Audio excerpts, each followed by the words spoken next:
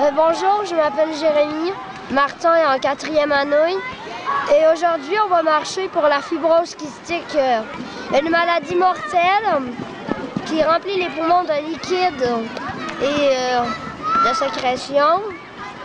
Et grâce à vous et moi, Jérémy, nous pourrons, et de la fibrose kystique pourront vivre plus longtemps.